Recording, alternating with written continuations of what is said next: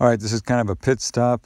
Uh, I tend to take my earbuds in and take them out, put them in uh, throughout the day, and uh, they end up in random places. And now the final random resting place is probably for one of them buried in the sand.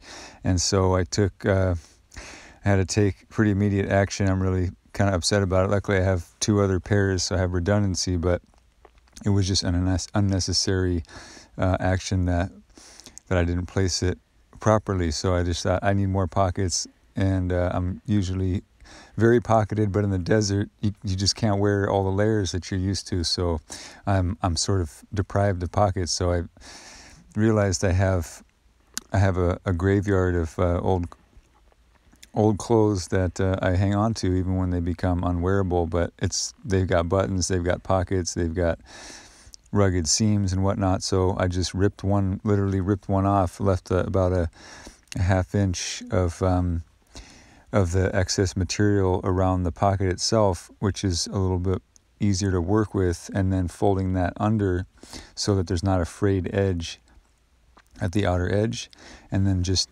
creating a loop basically out of string. What I'm showing there is the backing. It's just a piece of um, some kind of stone siding of sorts uh, that was on the property when I bought it, and uh, keeping that backing in there inside the sleeve to prevent the uh, sewing needle from obviously sewing itself shut to the other side, which happens all the time. And uh, so I always I'd use cardboard or anything, any hard kind of thin surface that was appropriately sized, so that I'd have a back or, a backstop um, during this process, and then just over the course of years since I sewed on my first patch when I was maybe 12 years old, it was an anarchy symbol of all things on my uh, black denim jacket.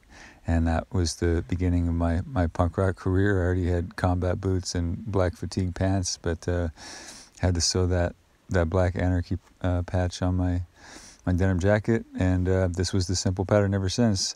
Just a hand stitch of a loop, basically a double strand. Um, bit of thread